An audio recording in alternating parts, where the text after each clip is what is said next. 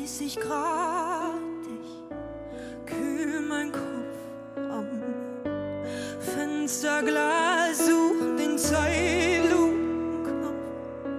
Wir leben immer schneller, feiern zu hart. Wir treffen die Freunde und vergessen unseren Tag. Kein Stress, kein Druck, nehmen zu, noch ein Schluck vom Gin Tonic, gucken diesen Himmel wie aus Hollywood. Rot knallt in das Blau, vergoldet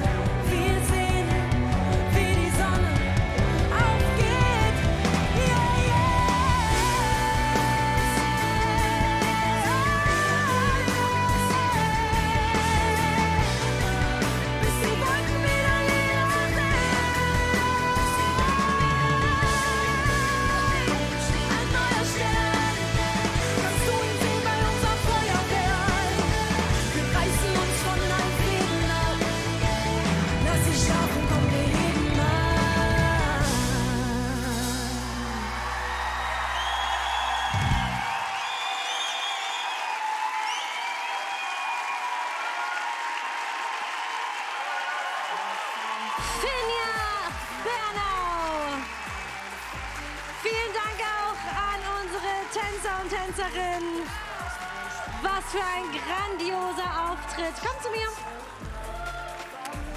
Und ja, das Outfit ist Fire und diese und auch die Songauswahl war wieder grandios und diese Version von dir, Hammer, wirklich. Und wir bleiben definitiv heute auch noch wach, bis die Wolken wieder lila sind, denn wir wollen natürlich wissen, wer ins Finale einzieht. Und Finja könnte ja eine potenzielle Finalistin werden, oder Bill und Tom?